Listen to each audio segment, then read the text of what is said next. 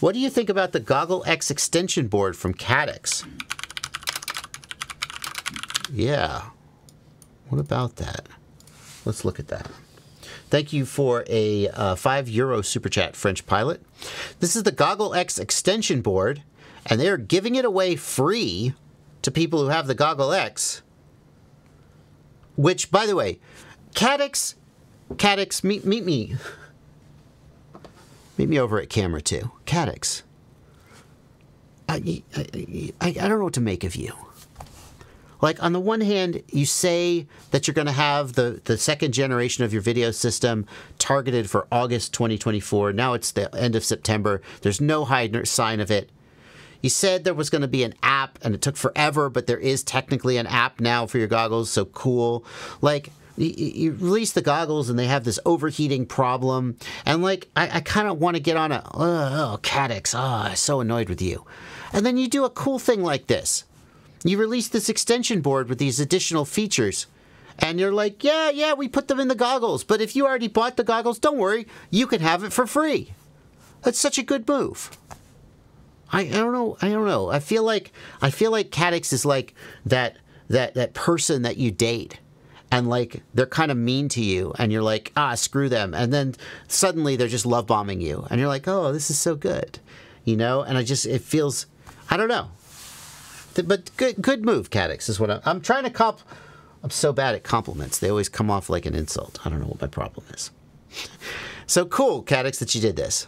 Uh, the expansion board has uh, support for an analog adapter. Here, we'll this extension this. module is only compatible with the Avatar Goggles X models that do not have built-in head tracking. That do it not integrates have the head tracking function and AI fixes voice. the compatibility of some analog receivers. When installing the module, make sure the white connector faces forward. Mm. Looks good. The shorter power cable connects to the goggles, while the longer one connects to the module. Maybe it could be a little more compact.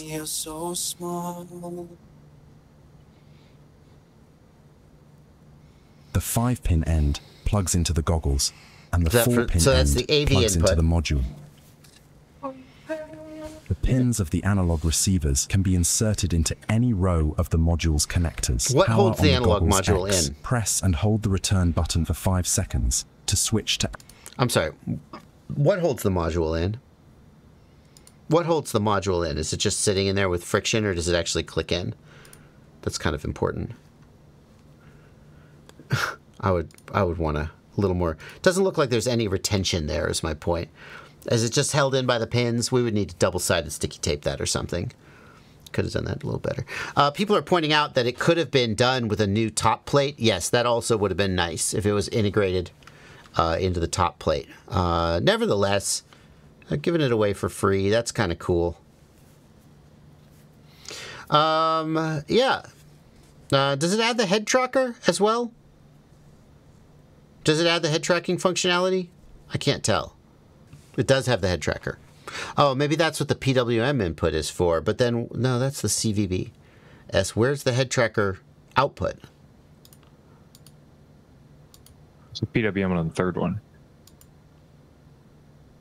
Two goggles X. Oh, is the head tracker on the other side? There's PWM, but that's a plug.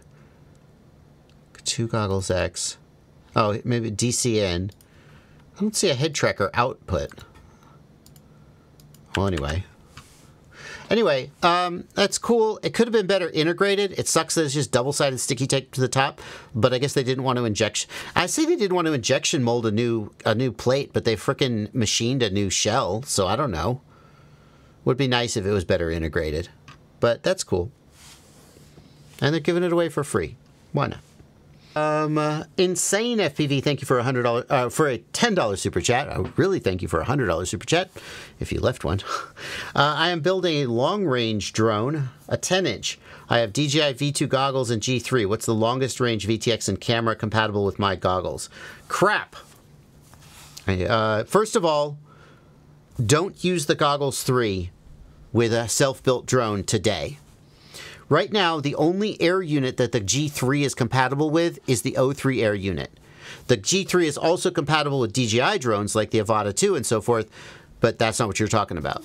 There is a bug between the G3 and the O3 air unit right now, where basically they lose link and link doesn't come back, and you lose your quad if you don't ever return to home. So do not use the the goggles three with the O3 air unit. Period. Today. That is a non-starter until DJI fixes the bug. Will they fix the bug? Probably. When will they fix the bug? No one knows. DJI knows. When they do, we'll let you know. Okay? So the V2 is your only choice between those two. Um, and when used with the V2, uh, the uh, the Vista Air unit has like a 23 uh, 13 kilometer range, and I believe the O3 has like a 23 kilometer range. Blunty, do you agree, disagree, or no opinion on those numbers? We've had this conversation before. The, with the V2 goggles, it doesn't matter what air unit you're using. The range limit is 13 kilometers, full stop. Yes. That's what you wrote. With the Goggles 2 and Integra, it goes to 30 kilometers for the Vista and 23 kilometers with the O3, but that doesn't matter because you don't have the Goggles 2 or the Integra. And with the G3, don't use them because there's a bug that will cause you to lose video link and fi- and lose your uh, lose your video, lose your quad. So there you go. Pick the O3 or the Vista. It doesn't matter. 13 kilometers is how far you can fly maximum, though. What are the best antennas for the Walksnail Goggles X for long range? I have the Flywoo LR4. Um, uh, what I would do to answer that question is I would go and I would go to TrueRC. TrueRC makes a lot of really good antennas, and I would go directional medium gain antennas, and that, I would look what they have for Walksnail. Can I just search for Walksnail? How about that? So X2 pair, yeah. For goggles X. So I probably would get something like this. X2 Air pair for goggles X. Um, excuse me. I have a little bit of a hiccup. I've been drinking Spindrift pineapple. So good. Um, now, if you're going long range, you might not even want the Omnis. You might want dual. So you might even see if you could figure out a way to mount four of them and really reach out there. But like something like this would be the place I would go if I didn't want to do like a custom high gain antenna. Yeah.